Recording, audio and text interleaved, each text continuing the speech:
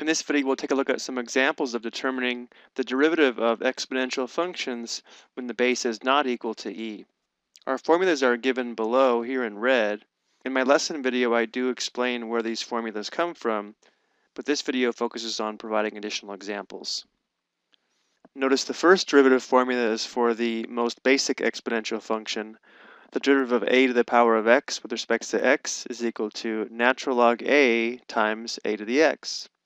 But if we have a composite function where the exponent u is a function of x, the derivative of a to the u with respect to x is equal to natural log a times a to the u times u prime.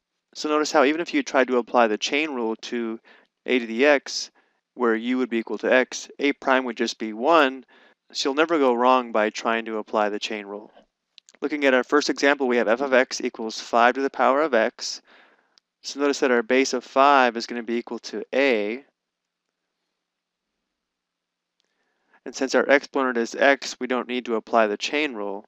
So f prime of x is equal to natural log a, or natural log 5, times a to the x, which is 5 to the power of x.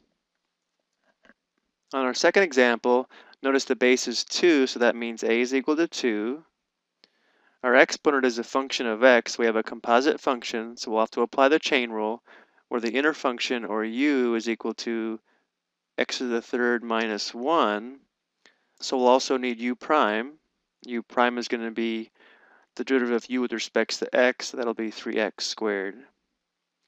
Now we have all the information we need. f prime of x is going to be equal to natural log a, which is natural log 2, times a to the power of u, which is the original function, 2 to the power of x cubed minus 1, times u prime, and u prime is 3x squared. So this is our derivative function. Let's go ahead and change the order of this product. f prime of x is going to be equal to 3x squared natural log 2 times 2 to the power of x cubed minus 1. We'll take a look at some more examples in the next video.